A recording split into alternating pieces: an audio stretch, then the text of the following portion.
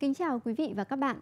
Quý vị và các bạn đang theo dõi bản tin O2 được phát sóng trực tiếp trên kênh O2 TV. Hãy cùng chúng tôi điểm qua những thông tin đáng chú ý có trong phần đầu của bản tin ngày hôm nay. Ngày đầu triển khai giá dịch vụ y tế mới.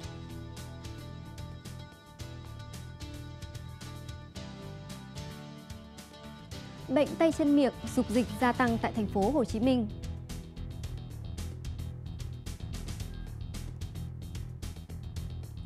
Phản ứng của người tiêu dùng trước thông tin sản phẩm của Johnson có chất gây ung thư. Mũ chống rụng tóc cho bệnh nhân ung thư.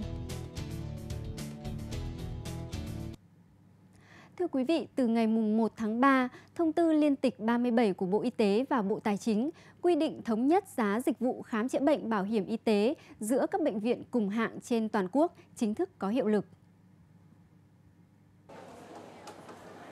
Theo đó, giá dịch vụ khám chữa bệnh bảo hiểm y tế bao gồm giá dịch vụ khám bệnh, giá dịch vụ ngày giường điều trị, giá dịch vụ kỹ thuật được quy định cụ thể tại các phụ lục kèm theo thông tư liên tịch này. Các dịch vụ khám chữa bệnh chưa được quy định mức giá cụ thể sẽ áp dụng theo mức giá của các dịch vụ được Bộ Y tế xếp tương đương về kỹ thuật và chi phí thực hiện. Các cơ sở tư nhân sẽ áp dụng giá khám bệnh, giá ngày giường điều trị theo mức giá của một trong các hạng bệnh viện quy định tại phụ lục 1.2 của thông tư liên tịch này. Mặc dù giá dịch vụ y tế chính thức sẽ được điều chỉnh trên toàn quốc, tuy nhiên vẫn có những băn khoăn rằng việc tăng giá này có ảnh hưởng gì đến những đối tượng không tham gia bảo hiểm y tế hay không. Trước câu hỏi này, các cơ quan chức năng cho biết lần điều chỉnh này sẽ không ảnh hưởng đến khoảng 20 triệu người chưa tham gia bảo hiểm y tế.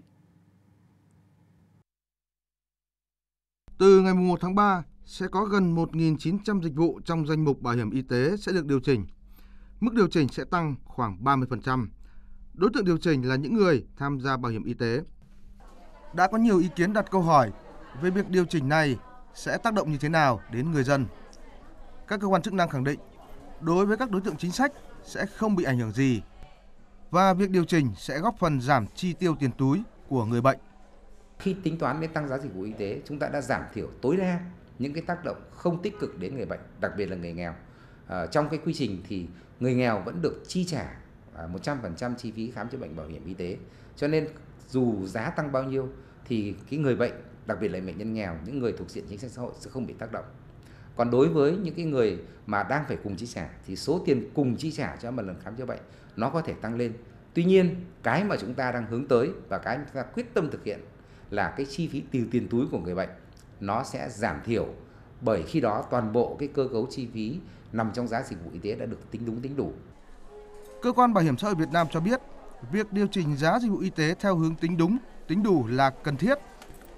Và việc điều chỉnh giá dịch vụ y tế là nhằm điều chuyển các khoản chi trước đây được nhà nước bao cấp cho các bệnh viện, nay được tính vào giá. Nguồn ngân sách này sẽ được chuyển sang hỗ trợ người dân tham gia bảo hiểm y tế cái giá cũ nó chưa đủ để mà bù đắp cái chi phí y tế bỏ ra.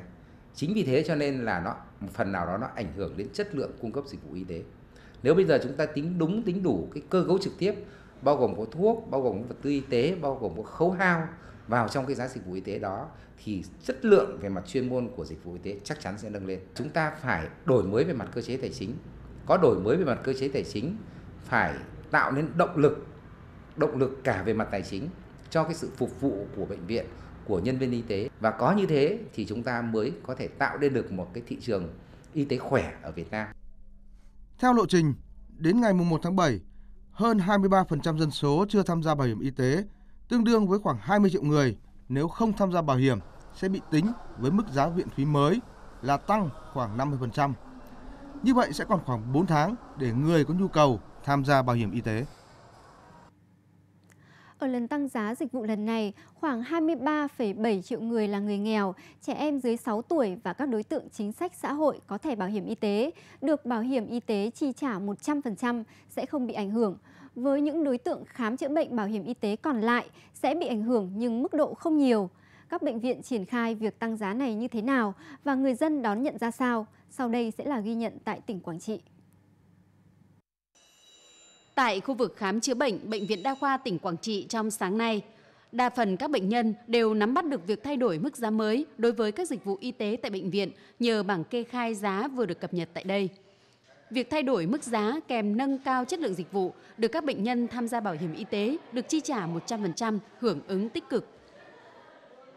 Thì thấy cái chủ trương như vậy thì cũng rất là tốt, tốt cho bệnh nhân, mà nhất là những người hưởng à, cái à, cái cái cái, cái phần mà, mà bảo hiểm ưu đãi à, người có công tất nhiên là là khi đã viện phí mà đã tăng thì cái, cái, cái mong muốn của người dân là chỗ nằm giữa các thứ ấy rất là đừng có để bị nhồi nhét hai ba người vào chỗ. Còn đối với những bệnh nhân có bảo hiểm y tế, đồng chi trả bảo hiểm, việc tăng giá các dịch vụ y tế thêm 30% ít nhiều ảnh hưởng đến cuộc sống của họ. Như tôi là đóng là 20%, à, cho nên cái giá dịch vụ nó sẽ tăng lên. Ví dụ trước đây là cái gì là là 40 16 mà chứ tăng lên 99 mà trong 20 phần 20 phần trăm đó thì nó tăng cao lên. Trong các dịch vụ y tế được điều chỉnh tăng giá lần này, tăng nhiều nhất là giá khám chữa bệnh và giá ngày giường. Nhằm tạo điều kiện cho bệnh nhân, Bệnh viện Đa khoa tỉnh Quảng Trị chỉ áp dụng tăng giá dịch vụ cho các bệnh nhân có bảo hiểm y tế bắt đầu khám và chữa bệnh tại bệnh viện từ hôm nay mùng 1 tháng 3. Còn đối với bệnh nhân mà khám chữa bệnh hoặc là nhập viện điều trị nội trú từ trước ờ, 0 giờ ngày 1 tháng 3 thì vẫn thực hiện theo ờ, mức giá khám chữa bệnh cũ. Cho dù là bệnh nhân đang nằm viện mà ra viện sau ngày 1 tháng 3 cũng vẫn áp dụng giá dịch vụ khám chữa bệnh cũ. Mỗi ngày, Bệnh viện Đa khoa tỉnh Quảng Trị tiếp nhận khám và chữa bệnh cho khoảng 500 lượt bệnh nhân ngoại trú, hơn 900 lượt bệnh nhân đang điều trị nội trú, trong đó 80 đến 90% đối tượng tham gia bảo hiểm. Việc tăng giá dịch vụ y tế lần này được đánh giá là có vai trò quan trọng trong việc nâng cao chất lượng dịch vụ của các bệnh viện. Thì mình cũng phải giả soát theo cái thông tư 37 để trong các uh, so với các bệnh viện cùng hạng trên toàn quốc thì mình cũng phải đảm bảo sao các cái dịch vụ kỹ thuật mình uh, tương đối đầy đủ để tránh thiệt thòi cho người bệnh. Dự kiến từ tháng 7 năm 2016, các bệnh viện tại Quảng Trị cũng sẽ áp dụng mức giá dịch vụ y tế mới theo điều chỉnh tăng đối với tất cả các đối tượng, kể cả người không có thẻ bảo hiểm y tế. Như vậy, các bệnh viện thực hiện việc điều chỉnh này đều khá thuận lợi, tuy nhiên vẫn còn nhiều khó khăn cần phải tháo gỡ trong thời gian tới. Còn bây giờ, bản tin O2 xin được tiếp tục với những thông tin đáng chú ý khác. Bệnh tay chân miệng dục dịch gia tăng tại thành phố Hồ Chí Minh.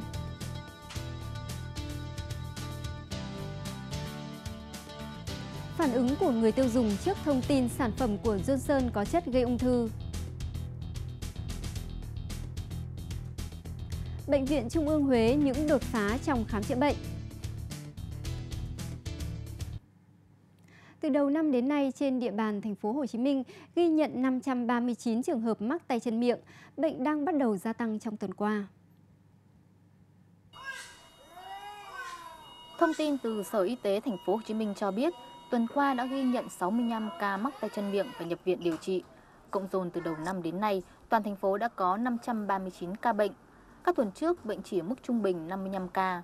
Sự gia tăng về số bệnh nhân tăng 19% trong tuần qua cho thấy tay chân miệng bắt đầu gia tăng.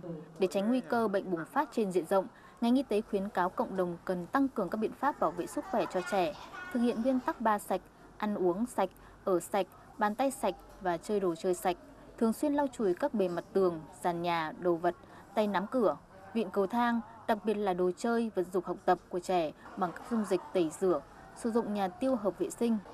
Khi phát hiện trẻ có dấu hiệu nghi ngờ mắc bệnh, cần đưa trẻ đi khám và thông báo cho y tế địa phương. Đối với trẻ đang đi học, phụ huynh cần phải cho trẻ nghỉ học để tránh lây lan bệnh tay chân miệng trong trường học. Trong các tuần qua, tình trạng nhiều người mắc phải bệnh viêm mãng, não, màng não do mô cầu gia tăng, trong đó có cả những người trưởng thành khỏe mạnh. Chủ động phòng bệnh là biện pháp hữu hiệu để ngăn dịch lây lan.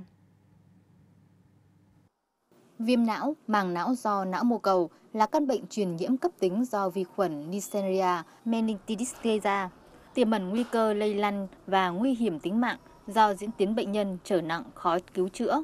Để phòng bệnh viêm não, màng não do mô cầu, tránh lây lan trong cộng đồng, Cục Y tế Dự phòng Bộ Y tế khuyến cáo người dân thực hiện tốt một số biện pháp sau.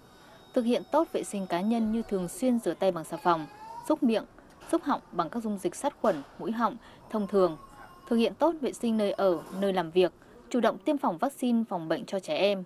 khi có biểu hiện sốt cao, đau đầu, buồn nôn và nôn, cổ cứng cần đến ngay các cơ sở y tế để được khám và điều trị kịp thời. Phấn rôm của Johnson, một sản phẩm được rất nhiều bà mẹ Việt Nam tin dùng khi có con nhỏ. Nhưng từ khi có thông tin sản phẩm có chất gây ung thư thì rất nhiều người tiêu dùng đã tạm ngừng sử dụng sản phẩm này. Trước những thông tin, Johnson Johnson phải bồi thường 72 triệu đô la cho một người tử vong do có liên quan đến việc sử dụng sản phẩm của công ty này. Người tiêu dùng Việt Nam đã có phản ứng khá thận trọng. Chị Phương Anh ở Thịnh Quang, Hà Nội vừa mới mua lọ phấn rôm của hãng Johnson về sử dụng cho con. Nhưng khi nghe được thông tin sản phẩm có chất gây ung thư, lọ phấn rôm của hãng này đã được bỏ ra một góc. À, khi có con nhỏ thì tôi cũng mua sản phẩm à, phấn rôm về thì cũng có dùng một vài hôm khi mà thấy thông tin là châu sơn gây ung thư cho hai bé thì tôi cũng, tôi cũng tạm ngừng dùng luôn không muốn này gửi đến con cả. Trước mắt thì cũng ờ, tôi cũng không dùng nữa không dùng sản phẩm châu sơn nữa thì tôi sẽ sử dụng những các biện pháp là thông thường thôi tắm cho con chỉ lau người không dùng cái sản phẩm khác nữa còn với gia đình chị Linh, mặc dù không sử dụng sản phẩm này cho con, nhưng trước thông tin đó cũng khiến chị không khỏi lo lắng. Ra thì ngay từ đầu ấy, mình đã không xác định cho em bé dùng Baby Johnson. Nhất là nếu mà nghe được cái tin đấy thì mình lại càng thấy là cái sự lựa chọn của mình như thế là chính xác. Uh, và kiểu thực ra thì là mẹ thì ai cũng rất là lo cho con mình kể cả nó có một phần trăm không biết là nó có cái thông tin đấy là chính xác hay không nhưng mà nó cũng khiến cho mình phải đắn đo và suy nghĩ um, uh, tức là trong gia đình của mình ấy thì mọi người thì đều ủng hộ với mình là không nên dùng cái ờ, sản phẩm này cho em bé không chỉ có sản phẩm phấn rôm mà nhiều sản phẩm khác của Johnson cũng đã không được sử dụng sau khi có thông tin trên. Sản phẩm của Johnson về từ dầu gội đến sữa tắm và phấn rôm thì tôi từ xưa nay vẫn rất tin tưởng vì đó là thương hiệu hàng đầu thế giới về sản phẩm dành cho trẻ con sơ sinh nhưng mà sau khi mà phát hiện ra trên TV cũng như là trên mạng cũng đăng tin là cái sản phẩm nó gây ung thư, tôi rất là sốc. Và cũng không biết là hoang mang, không biết như nào. Nên trước tiên là tôi tạm dừng hết tất cả các sản phẩm về Johnson để ừ, nghe ngóng tình hình xem thực hư thế nào đã được biết, các sản phẩm của Johnson Johnson tại Việt Nam đã được lưu hành từ lâu và tất cả đều có giấy phép lưu hành của cơ quan quản lý. Nhưng liệu trong những sản phẩm của công ty này tại Việt Nam có chết gây hại hay không thì còn là một câu hỏi lớn đang chờ những người đại diện của công ty trả lời. Sự việc hiện vẫn chưa đi đến một kết luận cuối cùng nào, nhưng qua vụ thua kiện vừa qua tại Mỹ của công ty Johnson Johnson, nhiều người tiêu dùng Việt Nam lo ngại bởi hàng ngày họ vẫn sử dụng phấn rôm Johnson cho con trẻ. Quá tải ở các bệnh viện là vấn đề gây ảnh hưởng đến chất lượng khám chữa bệnh, y đức và sự phát triển của nền y học quốc gia. Vì vậy, việc giảm quá tải bệnh viện được người dân quan tâm và cả ngành y tế đang nỗ lực nhằm giảm dần tiến tới xóa bỏ tình trạng quá tải bệnh viện. Trong đó, phát triển mạng lưới bác sĩ gia đình được xem là một trong nhiều giải pháp để giảm tải bệnh viện. Hơn 3 năm qua, bà Hồng đã quen với việc khám chữa bệnh tại phòng khám bác sĩ gia đình ở cái tuổi 65, bà bị huyết áp cao, loãng xương, bệnh tuổi già ngày càng dồn dập. Theo bà Hồng, nếu không tới phòng khám bác sĩ gia đình thì e rằng phải rất vất vả khi phải lên tuyến trên ngồi chờ khám. Tôi với bác sĩ gia đình này cũng như là rất là thân, quen rồi. Khi tôi đi khám của tôi nhưng mà tôi hỏi cho con, cho cháu, thì bác sĩ gia cũng vẫn là giải thích. Nó giải thích rồi yêu cầu á, thì đưa trở qua cho bác sĩ khám. Với chức năng là khám chữa bệnh ban đầu, quản lý sức khỏe của từng người dân, bác sĩ gia đình sẽ quản lý chăm sóc bệnh nhân và giúp sàng lọc bệnh tật ban đầu, chuyển tuyến phù hợp, góp phần giảm quá tải bệnh viện tuyến trên. Điểm nhấn ở đây đó là vấn đề à, chúng ta à, chuyển tuyến à, từ bệnh viện à, quận huyện đến bệnh viện tuyến trên để làm sao giảm đi những cái thủ tục rườm rà Mới đây trong lần gặp Bí thư Thành ủy Thành phố Hồ Chí Minh, giáo sư Trần Đông A đã bày tỏ mong muốn người đứng đầu thành phố quan tâm chỉ đạo giải quyết triệt để tình trạng quá tải ở các bệnh viện của thành phố đang gây bức xúc cho người bệnh. Giải pháp mà giáo sư đưa ra là cần phải phát triển mạnh mẽ hơn nữa mạng lưới bác sĩ gia đình. Tôi cũng đã kiến nghị nhiều lần là y học gia đình thì thành phố chúng ta đi đầu nhưng chưa phát triển nhiều và tôi biết là uh, lãnh đạo ngành y tế thành phố đang bắt đầu thực hiện cái, uh, chuyên khoa này đưa các dịch vụ chăm sóc sức khỏe đến tới nhà dân, hiểu và quản lý mô hình bệnh tật cho cả gia đình, làm cầu nối giữa tuyến dưới và tuyến trên khi người bệnh cần được chuyển viện là những nổi bật của mạng lưới bác sĩ gia đình. Phát triển mô hình bác sĩ gia đình sẽ giảm gánh nặng và các sức ép không đáng có lên hệ thống y tế hiện nay. Là một trong ba bệnh viện lớn nhất ở Việt Nam, là trung tâm y tế chuyên sâu khu vực miền Trung Tây Nguyên, Bệnh viện Trung ương Huế được biết đến với nhiều kỹ thuật y học tiên tiến. Trong thời gian qua, đội ngũ bác sĩ Bệnh viện Trung ương Huế đã liên tục thành công trong nhiều lĩnh vực điều trị. Trong đó, nhiều kỹ thuật lần đầu tiên được thực hiện ở khu vực miền Trung Tây Nguyên, trong nước và thế giới. Nhập viện trong tình trạng tế bào ung thư đã di căn não đa ổ. Thế nhưng sau một thời gian điều trị, chị Lê Kiều Diệm đã phục hồi sức khỏe. Các thông số cơ bản đã trở lại bình thường. Điều kỳ diệu này có được nhờ việc sử dụng tế bào gốc tạo máu từ thân trong điều trị ung thư vú và ung thư buồng trứng, một đề tài cấp nhà nước độc lập đầu tiên do các bác sĩ Bệnh viện Trung ương Huế thực hiện. Sức khỏe ờ, bình ổn định rồi, rất là vui, rất là mừng. Tiếp theo, thành công ca phẫu thuật tim hở đầu tiên đã ghi tên Bệnh viện Trung ương Huế lên bản đồ ghép tim thế giới.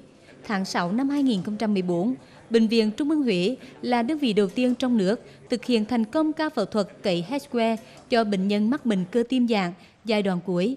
Trước đó, các bác sĩ Bệnh viện Trung ương Huế đã thành công trường hợp đầu tiên phẫu thuật nội soi hoàn toàn qua đường âm đạo, đánh dấu một bước tiến mới của phẫu thuật nội soi Việt Nam với thế giới.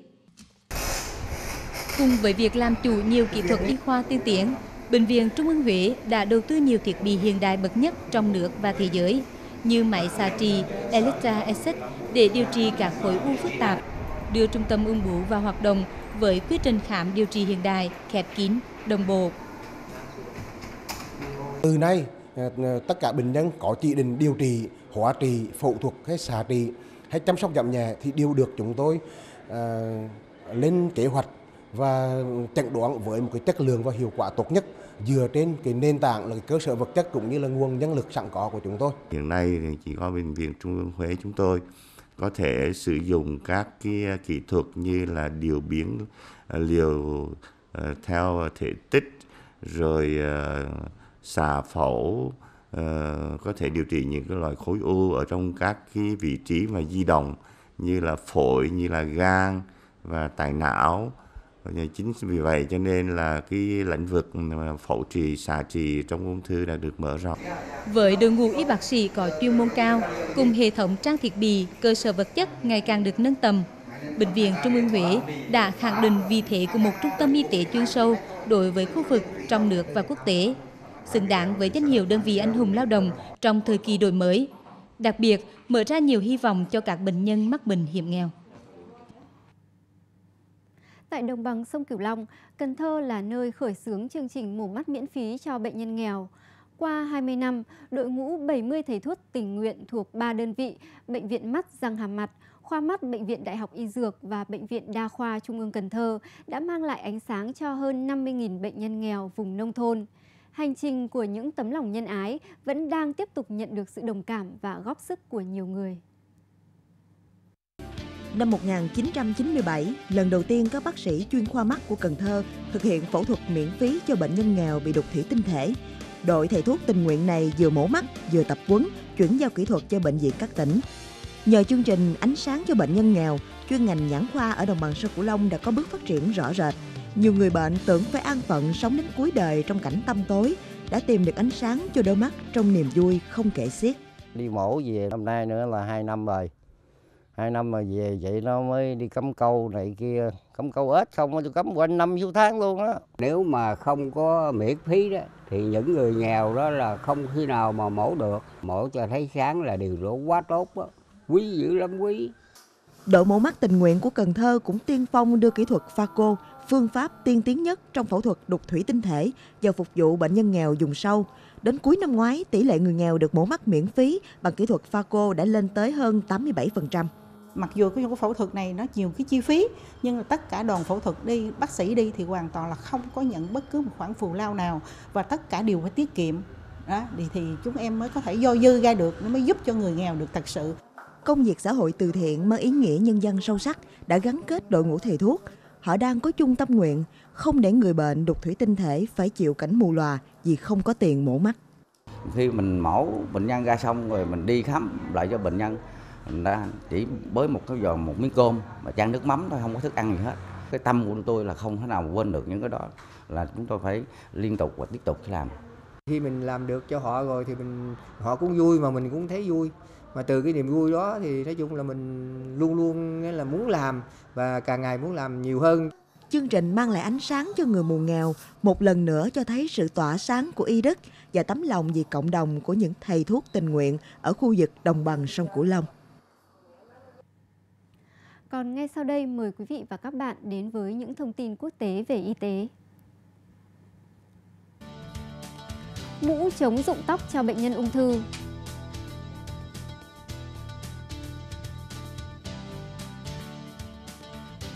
phát hiện mới trong điều trị tiểu đường. Từ đầu năm đến nay, tại Angola đã có 29 người chết do bệnh sốt vàng da và 11 người Việt Nam chết do bệnh sốt rét ác tính. Đây là thông tin từ Cục Quản lý Lao động ngoài nước. Dịch sốt vàng da và sốt rét đã bùng phát từ cuối tháng 12 năm ngoái tại Angola và các nước châu Phi. Cục Quản lý Lao động ngoài nước yêu cầu các doanh nghiệp thông tin đầy đủ tình hình dịch bệnh và các biện pháp phòng ngừa ờ, bệnh, dịch sốt vàng da và sốt rét tới người lao động đang làm việc hay chuẩn bị đi làm việc tại Angola và các nước tại khu vực châu Phi. Doanh nghiệp cần phối hợp với đối tác và chủ sử dụng đưa người lao động đi tiêm vaccine theo đúng hướng dẫn của chính quyền sở tại. Thưa quý vị và các bạn, rụng tóc là một hệ quả khó tránh khỏi trong quá trình điều trị ung thư bằng hóa trị. Để tránh được hệ quả không mong muốn này, một thiết bị được phát minh có tác dụng ngăn chặn sự rụng tóc lên đến 98%. Thiết bị này có tên gọi Dignicap. Dignicap được sản xuất bởi công ty Dignitana Thụy Điển, là sản phẩm chống rụng tóc duy nhất dành cho bệnh nhân hóa trị, được cơ quan quản lý thực phẩm và dược phẩm Mỹ FDA chứng nhận. Bộ thiết bị gồm một mũ bó sát kết nối với máy làm mát, hoạt động trên nguyên tắc dùng nhiệt độ thấp để giảm tạm thời lưu lượng máu và chuyển hóa tế bào trên da đầu, từ đó ngăn chặn thuốc chống ung thư tác động lên tóc. Bệnh nhân sẽ được đội mũ trong 30 phút trước khi bắt đầu hóa trị và bỏ ra sau khi kết thúc một tiếng rưỡi. Lúc đầu tôi thấy không thoải mái lắm, nhưng sau nửa giờ da đầu tôi mát hơn, do đó không còn khó chịu nữa và sau đó quá trình trị liệu bắt đầu. Tác dụng của chiếc mũ là rất rõ rệt. Sau 3 tuần trị liệu, tôi giữ lại được 98% tóc của mình. Hiện tượng rụng tóc đã giảm rõ rệt. Sau đó tóc tôi còn mọc lại chút ít nữa. Tuy nhiên, tác dụng phụ của mũ Dignicap là gây đau đầu, cổ và vai. Một số bác sĩ nghi ngại nhiệt độ thấp có thể làm giảm hiệu quả của hóa trị. Song FDA khẳng định khả năng này là cực kỳ thấp. Các trung tâm điều trị ung thư sẽ được thuê mũ Dignicap để điều trị cho bệnh nhân. Dignitana cũng đang đàm phán với các công ty bảo hiểm để giúp đỡ người bệnh tiết kiệm chi phí điều trị. Các chuyên gia y khoa Anh đã tìm ra một phát hiện mới có thể dẫn tới việc điều trị bệnh tiểu đường tuyếp 1 trở nên hiệu quả hơn và thậm chí là có thể phòng ngừa căn bệnh này. Nhóm các chuyên gia tại trường y khoa Đại học Exeter của Anh phối hợp với các nhà khoa học tại trường Đại học Oslo, Na Uy đã tiến hành phân tích 100 mẫu tụy từ những người mắc bệnh tiểu đường tuyếp 1. Theo các chuyên gia, với kết quả này, những người lớn tuổi mắc tiểu đường tuyếp 1 có thể sẽ được sử dụng phương pháp miễn dịch trị liệu để ngăn chặn các phản ứng xấu của bệnh. Đồng thời họ có thể được tiếp cận với các liệu pháp điều trị khác để giúp bệnh nhân khỏi bệnh. Các chuyên gia cũng kỳ vọng khám phá mới này sẽ giúp phát triển một loại vaccine để giúp ngăn ngừa bệnh tiểu đường ở trẻ em. Đến đây bản tin O2 ngày hôm nay cũng xin được khép lại. Cảm ơn quý vị đã quan tâm theo dõi. Xin chào và hẹn gặp lại.